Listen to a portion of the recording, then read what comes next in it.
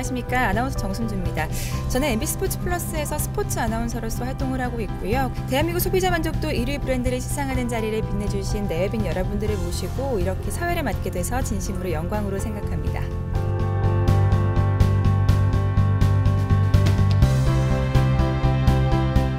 우선 2017년 대한민국 소비자 만족도 1위 시상식에 바쁘신 와중에도 이렇게 많이 참석해 주신 CEO님들과 각 기업 관계자분들께 감사를 드리며 수상기업에도 진심 어린 축하의 말씀을 전해 드립니다.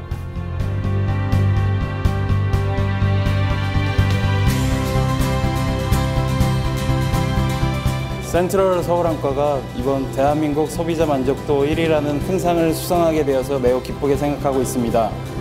어, 최신 안과 수술은 지속적인 투자와 숙련된 의료진 등 여러 가지 요소를 갖추고 있어야만 좋은 결과를 얻을 수 있습니다.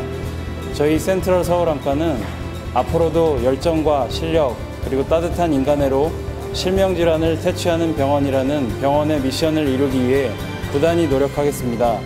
성원해 주시는 모든 고객 여러분들께 오늘 수상의 영광을 돌립니다. 감사합니다.